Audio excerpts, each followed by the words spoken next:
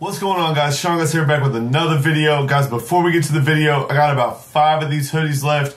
You guys have grabbed them and I appreciate you guys. But head over to seancutshair.com. I got five left. Make sure you snag you one before they sell out. I also have Storm Gray logo t-shirts and the Clipper tees are marked down to $14.99. I need to move those so I can make some room for some new merch. So you guys head over to the website, grab something. I appreciate it greatly. But enough about that. Let's get right into this video.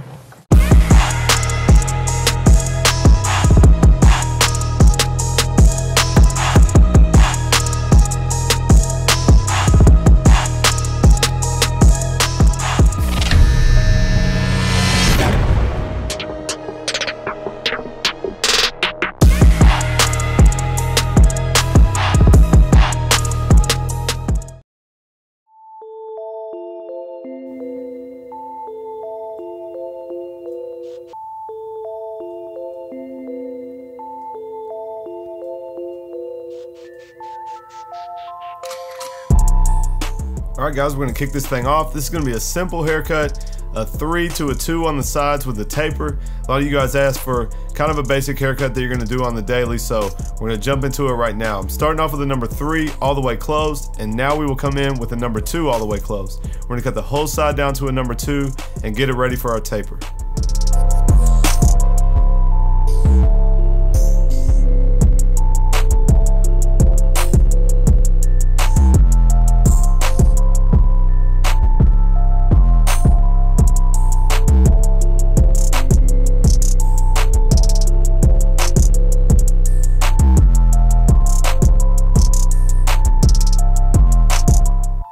Right, now we're gonna come in and if you guys pay attention to my videos, a lot of the time I do this, I like to have a bald transition between the sideburn and the beard. So we'll do a bald taper on the sides and we're gonna go ahead and fade into the beard. So we set it up with our Slimlines. Now we're coming in with our shaver we're gonna bald it all the way out. The next step is the Wahl Senior with the Andis blade all the way open. And you guys see a taper should go pretty quick. So I went ahead and closed it up, worked on that bottom line, then we'll open it halfway and take out the next line. All right, next step is a one guard all the way open. We know it's a two closed above it, so the one open will almost blend in. Then we'll immediately close it up and come after that line underneath. We'll go ahead and connect the two to the one with the one and a half guard. I do start with it about halfway open, then I can close it up if it's not getting the line out.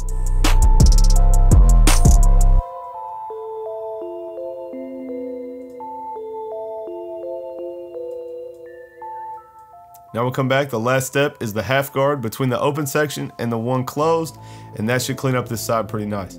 Of course, after that, I always work my way back through and make sure that it's nice and smooth, so I may jump around to some other guards to get any spots that are left before we move on.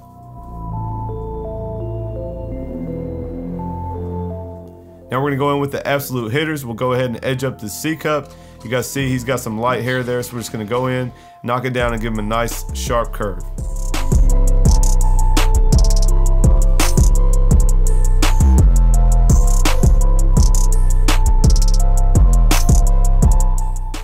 Up and edge up around the ear. You guys know we'll use the long part of the blade to cut down the neckline and then we'll pivot on our middle finger around the ear to get a nice clean circle shape.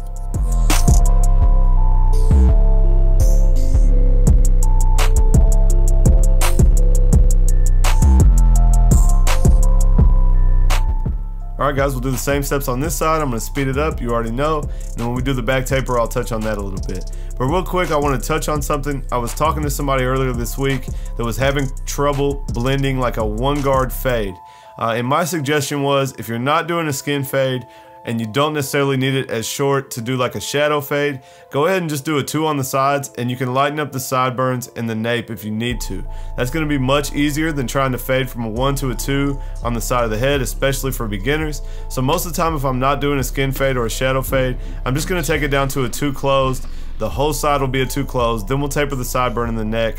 And to the average client, that's gonna give them exactly the look that they're looking for. They just want it short on the sides. They're not asking you to do a whole lot. Uh, or do they notice the difference between a one fade and a two on the sides? Like I said, when you taper the sideburn, that's going to give it the illusion that there's a fade there, and that's going to be much easier for some of you guys that are beginners. So I would definitely recommend doing that. And as you grow, you can try a one fade or an open clipper fade.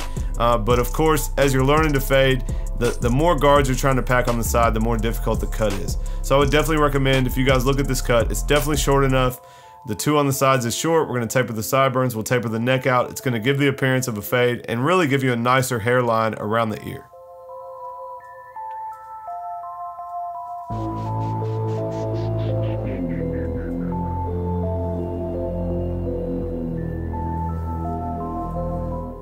I'll touch on something else while we're here, uh, while I got some time to talk.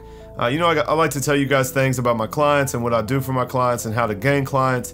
Uh, and this guy's been a client for a little while. This is actually a haircut before his wedding. Uh, so when we got done and he tried to pay me, I gave it to him. You know, if somebody's going to come to you the rest of their life, uh, they're going to pay you a lot of money over a lot of years. So one haircut at a special time for him. He actually texted me later that night and said, "Hey man, I really appreciate it. Like I know it's not a huge thing to give a haircut, but."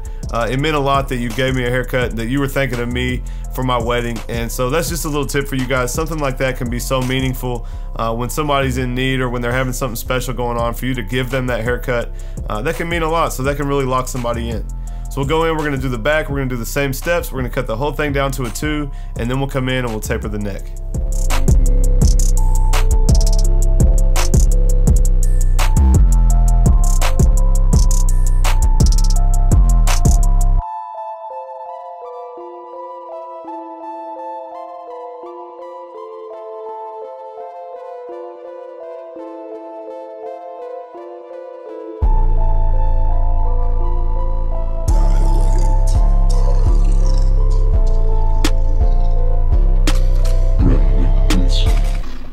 Before we go in and start our bald guideline, I want you guys to notice how much his hair really comes in on the bottom of his neck uh, area. So I'm gonna have to start that taper a little bit higher because I don't wanna have to round that hairline in and he really has not really a full grown pattern there at the bottom of his neck. So you can see we're gonna start that line a little bit higher. We'll go ahead and come in with our Slimlines. I know that looks a little bit crooked. It's kind of the way the camera is sitting, uh, but we're gonna do a straight line. Really is at the first point that his hair is full all the way across. So we did the ball guideline.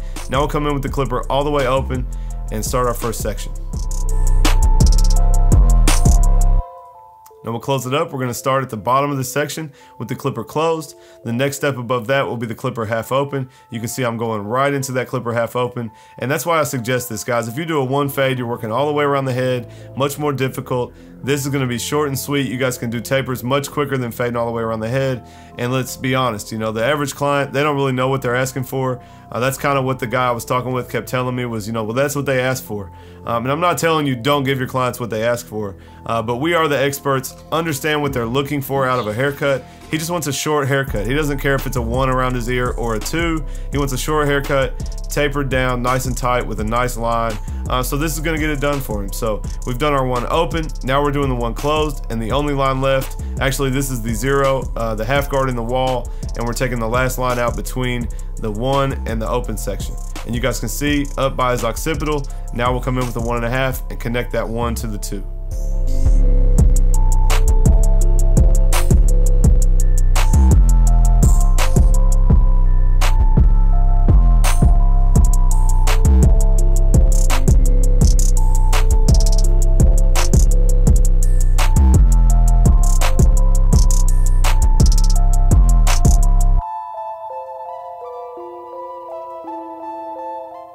And you guys can see there's a lot of dark spots left.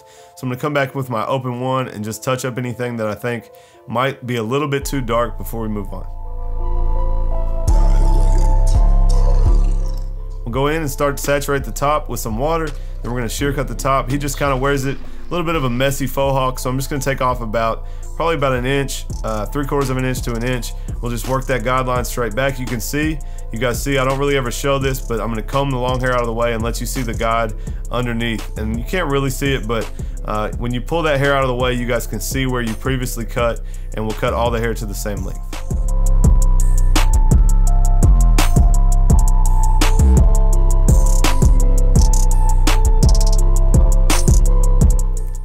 Gonna go in, we're gonna angle it a little bit to the side. I'm not gonna cut this totally square. He does wear it kind of like a faux hawk. So I am gonna angle it and connect it to the sides over there.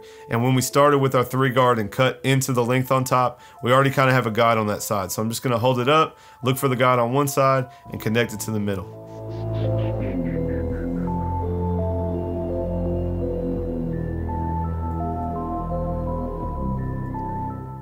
Now we'll go vertically and check. You guys can see the peaks, so you can see the high points from where we took our sections, and we'll just make it all match. Uh, we'll be done with the haircut. I hope this helps you guys. It's a nice, simple haircut, even trim on top. Uh, just the two on the sides with the taper. You guys can see we're gonna get a nice finished product, nice and clean, short enough for him. Uh, and it's a simple haircut. So you guys keep it simple. Don't try to do too much. As you grow, you can work on doing more fades all the way around. But for a simple haircut, this is nice and short uh, and neat, and it makes the client happy. So that's all we're here for. We're gonna go in, we're gonna touch this fringe up, make sure it's nice and even. We'll do a little clipper over comb to connect the sides to the top, and then we'll be done.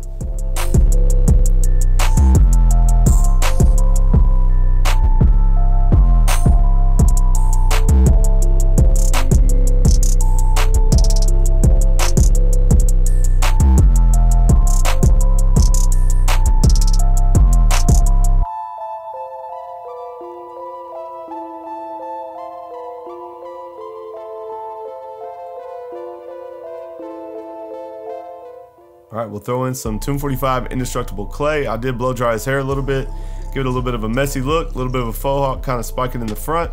You guys can check it out. There's the before. You can see that neck pattern is crazy. It's over his ears. We did touch his beard up, but I didn't show that. And like I said, this is my guy's wedding cut, so I already saw the pictures, and he looks super sharp. There's a finished product, guys. I hope you guys liked it. Give me a thumbs up if you liked this video. Leave a comment down below if this helped. And make sure you guys subscribe. I'm dropping three videos a week. You already know. Got lots of content for you guys. But I appreciate you. Catch you next time.